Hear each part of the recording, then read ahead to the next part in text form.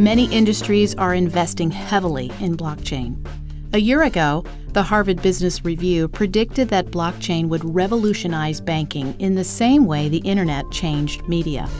And many manufacturers are looking to link the technology to smart contracts that can be digitally verified and enforced.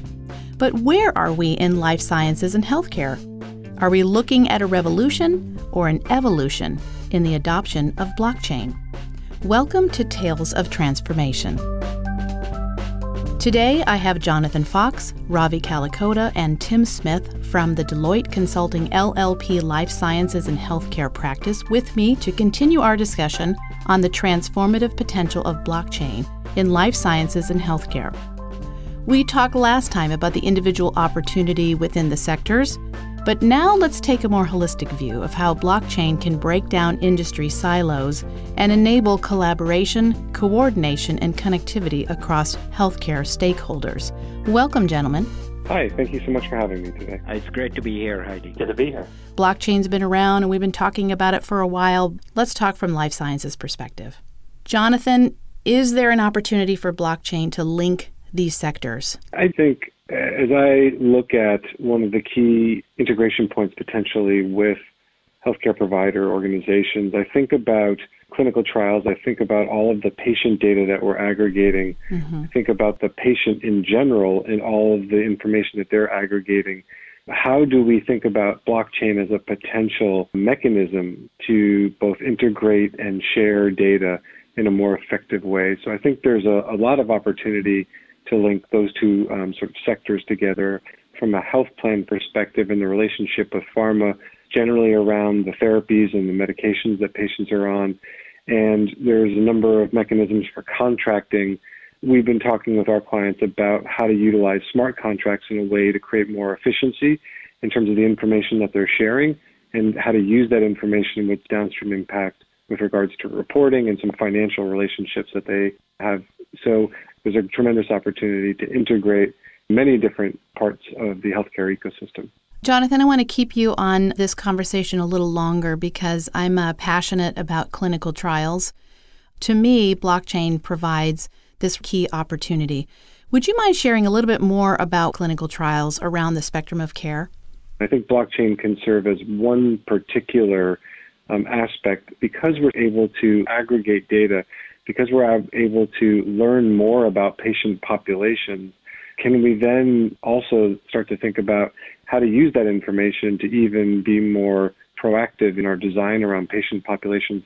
There's also interesting dynamics around um, how to be able to share information across trials or across different doctors or institutions. So I think it plays in the world of clinical trials, but there's also a practical reality of just sort of day to day care where it could play a role as well.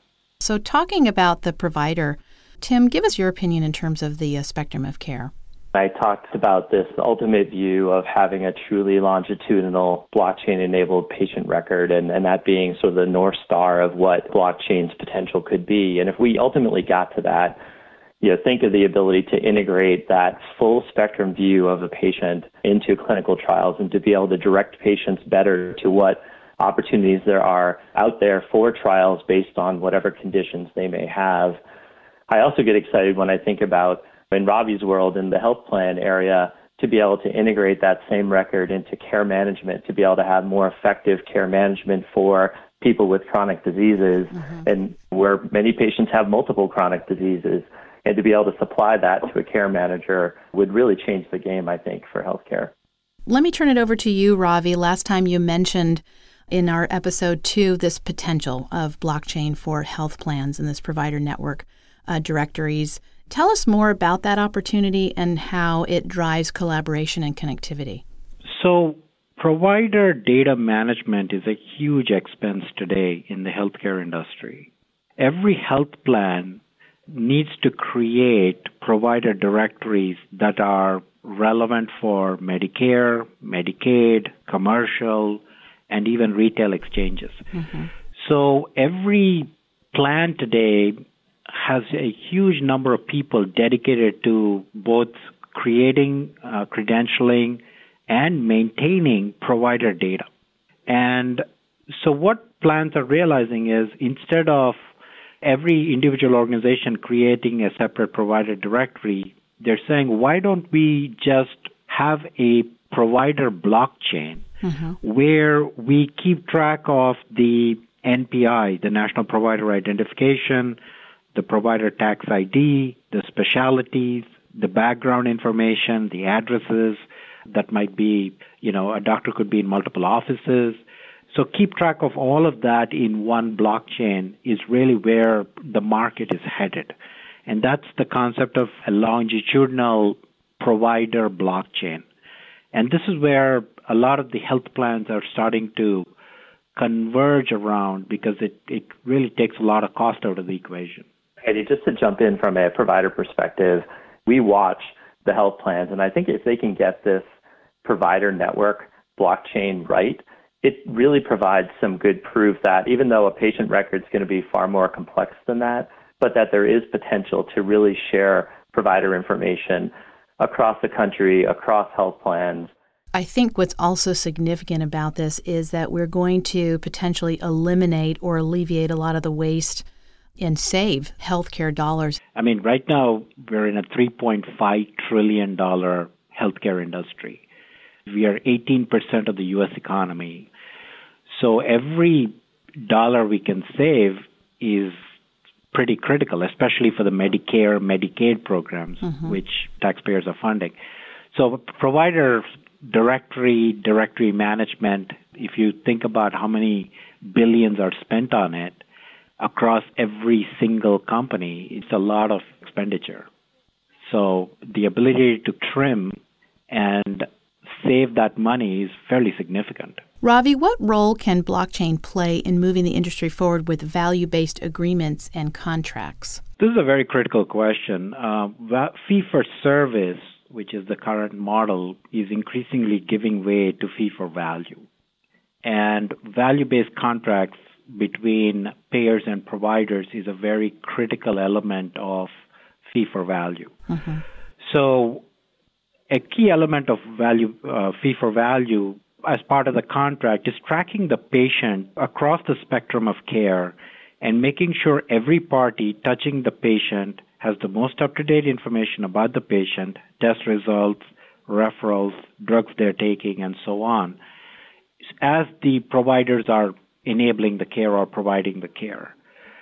So, in the value based contract world, what providers are increasingly being asked to do by payers is track the patient across the continuum of care and then increasingly measure what improvements they're seeing for that particular patient. So that if, let's say, the outcomes are better, then the payers tend to pay the providers more money. Mm-hmm. If the outcomes are worse, then the payers actually decrease the amount of payments they would make to the providers. So these are all incentive based models, and all these incentives require tracking around a patient. And that's why the patient blockchain is very critical because we're not just tracking the patient information, we're also tracking what value we are creating for the patient across a longitudinal period. So, Tim, from a provider perspective, what role can blockchain play in moving this industry forward from a value based care perspective? I think there's two things I would pick up on. Ravi mentioned the continuum of care, and I think what's important to think through is the fact that oftentimes the continuum of care is not owned by one health system. So as as a health system signs up for a value-based contract, it's important to have that visibility across the continuum of care, which they might not fully own. And so a benefit to blockchain, if we had it, would be able to be able to see you know, detailed information about the patient, no matter where that patient was seen. And that would definitely allow the, the health system to be able to react accordingly based on a more comprehensive view of that patient. The other area that I think is worth discussing is integration with social services because mm-hmm. we know so much about the patient's ultimate health is beyond just their interactions with a health system. The idea that I might be able to have blockchain extend further into social welfare would really be kind of an ultimate solution and truly provide a view that would allow overall healthcare to be managed more effectively. Jonathan, we know how important uh, life sciences is to this entire conversation. What's the tipping point in life sciences? We've reached a point now where I think we've gone beyond sort of the art of the possible. Um, people are really looking to understand practically what can I do. I, I, think there's a couple of potential places where we could look. I think one may not be a, a tipping point, but an interesting place for momentum is within the organization. I've seen some of our life sciences clients start to use blockchain within their internal finance organizations to manage those processes more effectively, more efficiently, and more securely. I think one of the areas that I'm particularly excited about is with regards to um, a new type of therapy, CAR T therapy, which is an immunotherapy, mm-hmm. which has a, a, tremendous amount of patient interaction where the patient literally taking their own blood and, and providing it back to the manufacturer. So it's a truly personalized therapy that's being um, engineered and provided back to the patient. And there's a tremendous process and number of handoffs and integration points across a number of organizations. I think it's very early stages for that therapy, and there's a lot of reasons why people will be nervous about integrating a new technology to a new therapy. Mm-hmm. But I wonder if that might represent a tipping point where we actually find a particular use case where there's truly a lot of value and a new therapy that needs the value drivers of blockchain, but time will tell. The immunotherapy side of this is really exciting, and the idea that blockchain could help to integrate that conversation even further is uh, quite exhilarating from a patient care standpoint. Tim, healthcare, will that lead uh, industry to broader adoption? You know, I, I think it will. We all keep coming back to this idea that we need a truly holistic view of patient data across the healthcare system. Mm-hmm. And I think there's two main things that are needed in order for that to be realized. I think one is that regulators, we need a little help there. And I think there's so much focus on interoperability uh, within Congress today that I think if we could move towards some requirements around interoperability across states, across health systems, that will ultimately push towards a meaningful change and potentially adoption of blockchain. And I think the other is having patients get a little bit more pushy and own their information more than what they do today. Because I think the push from a patient to really have that integrated view of their own data mm-hmm. across every health system they interact with will be a game changer for them. This idea of patient centered care is going to be an exciting place to participate in, in healthcare. Ravi, what are the specific challenges facing the industry when it comes to a broader adoption of blockchain? I think there are several challenges. I would start with identifying and converging on the right use cases. The second one that managers worry about is the business value and the ROI of doing a blockchain implementation. Mm-hmm. The third one, of course, is infrastructure capability and maturity. So if a firm wants to move into a blockchain implementation, and they need to put up $100 million, and let's say the technology changes next year, they need to have the confidence that the next version of technology is, of course, backward compatible. The fourth one is transformation execution. We're talking about transforming a business process across multiple firms. And those tend to be non trivial exercises because you have to bring a lot of people in line to make it happen. Jonathan, what do you see as specific challenges facing the industry from a life sciences perspective for broader adoption?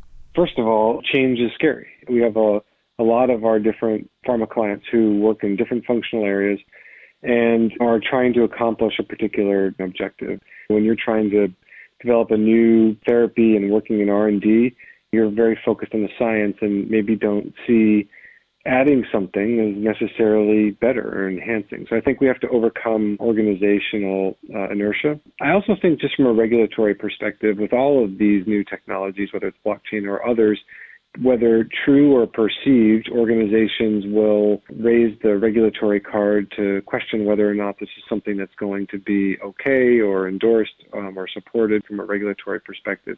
The last one I'd highlight is it's sort of a chicken and the egg, but as a result of the lack of large scale examples of blockchain, I think there's still questions about the technology. We hear on one hand that you know absolutes around trust and security, and mm-hmm. and the others, and I know there are different examples, and maybe not directly a great analog, but there are other cases, in the cases of Bitcoin, where um, there has been security issues. So I think with regards to the actual technology and understanding the value, how to implement, etc. there are some challenges and questions that people have.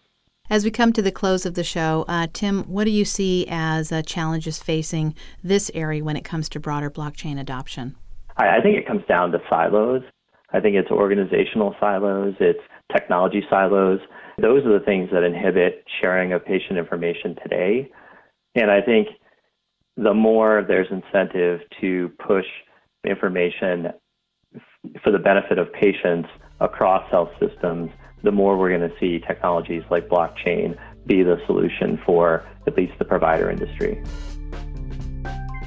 Making blockchain serve healthcare will require working out a number of understandings. Thank you, gentlemen, for giving us so much more information about where we stand with blockchain, its opportunity, integrate and to share health data for life sciences, for the plans and provider, and ultimately the patient. I want to thank my guests, Jonathan, Ravi, and Tim, for joining me today on Tales of Transformation. Thanks for having us. Thank you. Thank you very much. Next up, how is the no collar workforce and the future of work transforming the life sciences and healthcare industries? And are we ready?